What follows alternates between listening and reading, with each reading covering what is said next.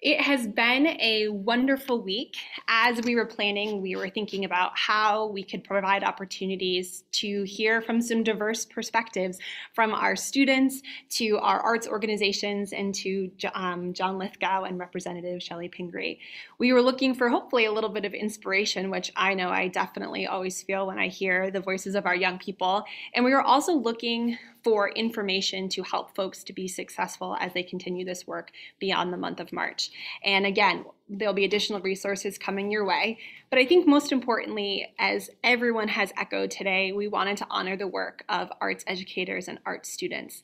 Um, the idea that it has not been easy for for folks who are working in education right now and we all have a lot of work to do to continue uh, advocate for arts education well beyond the month of March. As John said, the arts are good for children, and what is good for children is good for the future of our country.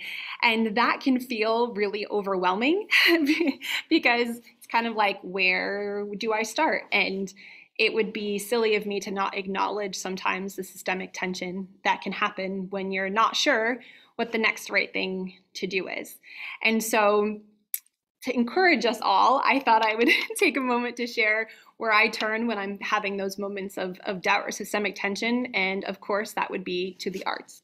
And so when I think about the story of the little hummingbird, if any of you have seen it, it's um, based on a South American indigenous story about a courageous little hummingbird, have one on my necklace, um, who defies fear and expectations to attempt to save the forest from a fire.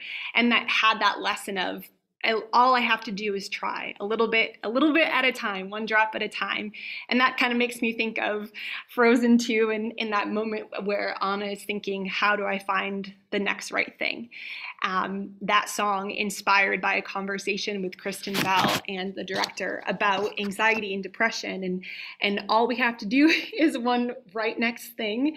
And then, then when we know it, we're putting one foot in front of the other and moving, moving right along. And so when we are thinking about how to wrap up today, we were thinking about what could we share um, as a tool or a strategy when we may be exhausted or facing uncertainty.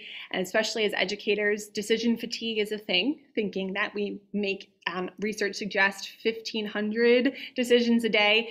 Um, so it's helpful to have a flexible and easy to remember process. And so with that we wanted to share an adaptive action cycle Three simple questions that is a process for iterative and flexible thinking um, that can be used not only in your professional setting, but it can also be used in your personal life.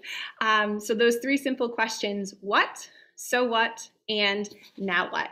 Um, there are a lot of really fantastic articles about how to use it, and I linked in the Human uh, Systems Dynamic Institute as one place. Um, but it kind of reminds me as a teacher when we're creating learning intentions of what are we learning today? So why why does that matter to us? And now what are we going to do or like with middle schoolers when they walk in what are we doing today? Or when you tell them what you're doing and they say so wh- why do we have to do this? And then the now what? Oh you're actually going to make us do this. Um, so when we're thinking about those three questions the first question what? invites curiosity and observation. And as john was speaking today about the art's ability to spark that curiosity um, that's what we want um, for ourselves and for our students. So what do you notice? What do you wonder uh, what do you see? What are you feeling? Just like with our students, we ask questions because getting curious can challenge our assumptions or expectations and encourage us to see things with new perspectives. Just like Corey and Shannon and Melissa encouraged us to do last night in our Creating Me session. The second question, so what, invites thoughtful consideration um, into options and implications. So, what does it matter? So, what does this mean for me? What could this mean for others? What might happen in the future? And finally, that third question that ignites ownership and action. Now, what can I do? What can others do? And what can we do together? So it can help us to narrow down something specific that's within our control. And then it becomes an iterative process, one step at a time. Every ending action makes the next beginning question necessary. It supports our ability to get curious, even in the most uncertain of times, knowing that there are many things in life we cannot control, but we can control our own curiosity. The arts spark that in all of us. We can control our perspectives, our emotions, and our next action point. It reminds me why we want this not only for us as adults, but for our students, and the arts can get us there. It also honors that there are multiple pathways to get there. So as we are wrapping up um, our day today based on what you've learned or experienced today or in the other sessions for Arts and um, Arts Education for Maine, a week-long celebration.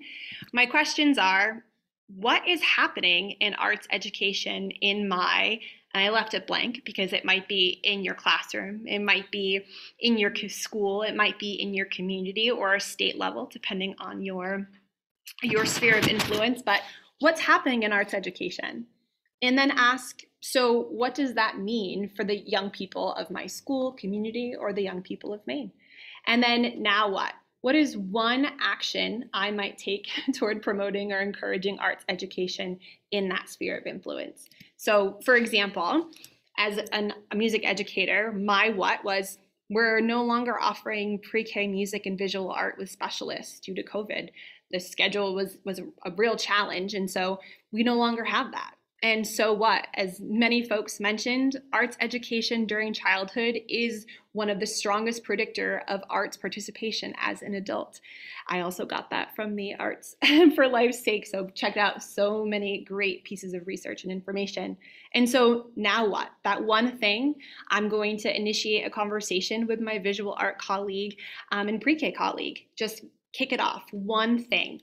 If that's not your sphere of influence or that might make you might not have time for that maybe what's happening is arts educators and students are exhausted. And what does that mean? Just like madison said teacher burnout is real. Folks are leaving the profession. People might be falling out of love with the arts at a time when we need it now more than ever. So one action you might take can you send a thank you note to an arts educator or an arts student in your life? Send a text, send an email, or a handwritten thank you note. Thank you, mom.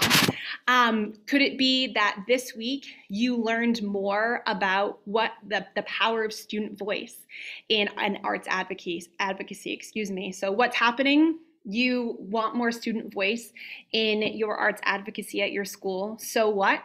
It means that for young people, they can feel empowered and share their stories and impact others. And then now what? Maybe your one step is you reach out to Melissa Burkhold or you reach out to your school and think about how you can work with students and Melissa to um, initiate a student leadership team at your school. So many different options and places to get access to information and resources. So we wanted to give folks a moment just to breathe because I, I need one. and take a minute to ask yourself what's happening? So, what does that mean? And now what? What's one thing you can do? And we'll invite you to have a challenge of choice. If you'd like to offer your now what in the chat, and maybe that will spark some inspiration for someone else. Or maybe there's a connection for someone who's also attending who's waiting to find you and make that connection to move arts education forward. And for those of you who are saying caitlin i'm exhausted it's the end of the day we've had so many great examples between john and our students of different ways to advocate for arts education in your community, reaching out to arts educators or students. I mean, Madison was all over it. Attend events, elevate what's happening, share what's happening. If you want to do that in the chat, share something that's going well. Finding and connecting to artists and community organizations um, that was brought up on our Tuesday session.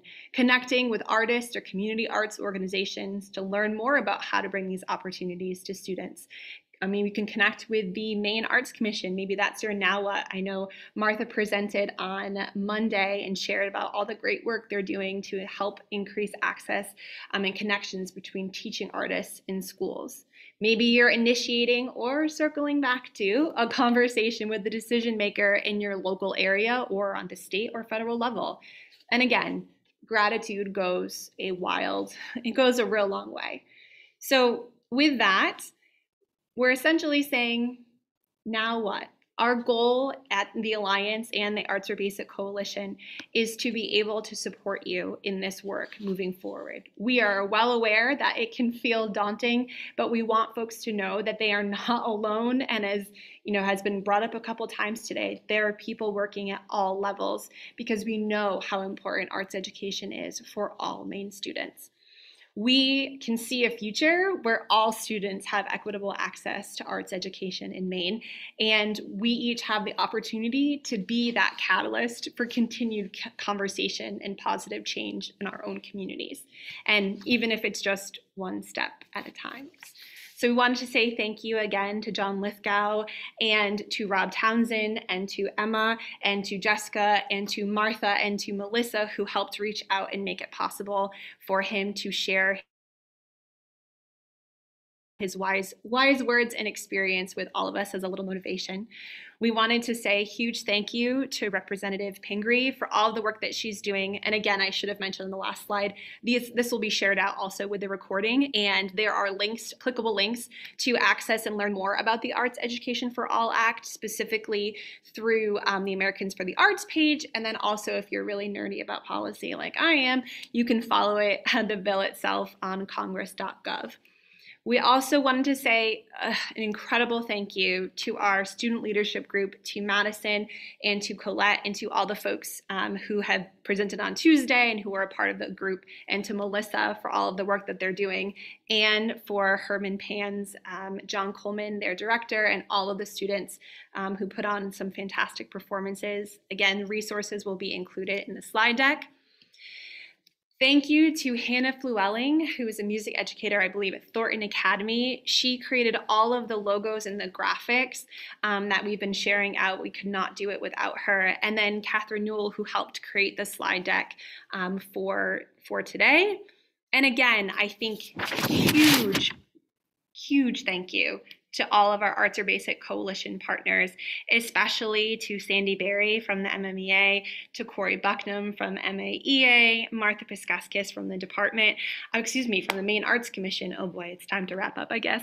And from Jay to Jason from, from the Department of Education. And thank you, Jason, for being our tech person, for getting this all put together. And to Melissa Burkhold, who not only has represented Maple this week and MMEA and um, works with the Maine Alliance for Arts Education as our Student Advocacy Program Director. We are, this would not be possible without all of you, and we're grateful for the opportunity to offer this information forward and to be leaders on top of the work that we're already doing. And then finally, to arts educators and arts students and all of our attendees, we are so grateful that you took the time not only to engage with us today, but we're hopeful that you'll continue to engage with us as we move forward and work to to promote and encourage education in all of the arts for all Maine students. Please stay connected with us to learn more about our work or to support our work. Please visit um, www.maineartsed.org or follow us on social media at Maine Alliance, um, on Facebook at Maine Alliance for Arts Education. So thank you again to all of our panelists, presenters, all the folks in front of this, the scene, behind the scenes, and all of our attendees. We're grateful for all that you do. Thank you again. Have a wonderful afternoon.